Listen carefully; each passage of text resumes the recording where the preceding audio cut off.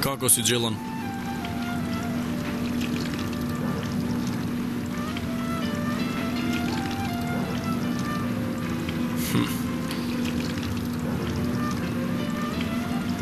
Ајде, не прави вака. Добро, се извинувам за синоќа, ама полудев кога не можев да те добијам. Те сакам многу.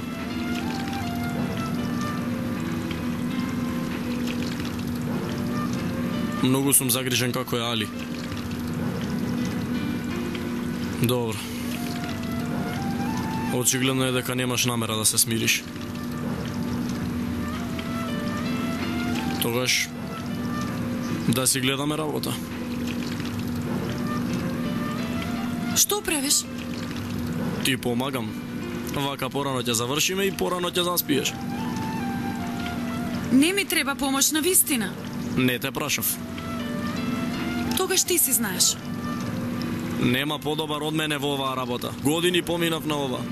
И дома јас миев. Се смиривме ли?